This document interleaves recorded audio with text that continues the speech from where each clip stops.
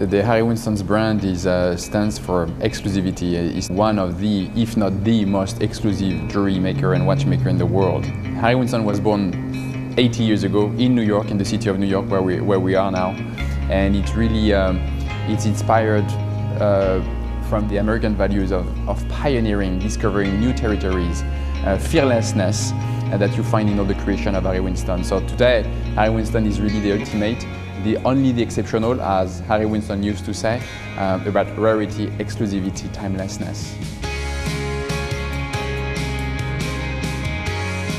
And Harry Winston, in the very early age, at the age of uh, 12, uh, was walking in front of the pawn shop and he saw in a, in a shoebox in the, among uh, different stones, fake stones and different colored stones and, and pieces of glass and he, he identified a green piece that he bought for 25 cents with his pocket money that he sold a few days later for $800.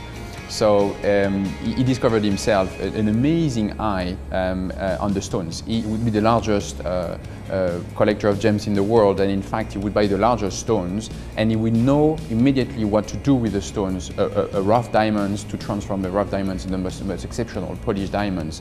So he has this exceptional eye that nobody else had in the world. But it is true that in my young age, at the age of 13, I discovered some English uh, coins um, in a shoebox on the, on the flea market that I bought for one French franc each coins. I, they were from 1860, 1870s, but they were kind of dirty and everything. I cleaned them, I polished them, and I sold them 60 times the prices a few hours later. So there was a click in my life at the age of 13 too. Our job here at Harry Winston is really to honor the legacy of this great man and this visionary man. And uh, it stays true, absolutely. Um, one, one thing um, at Harry Winston we never compromise with is, is really the quality.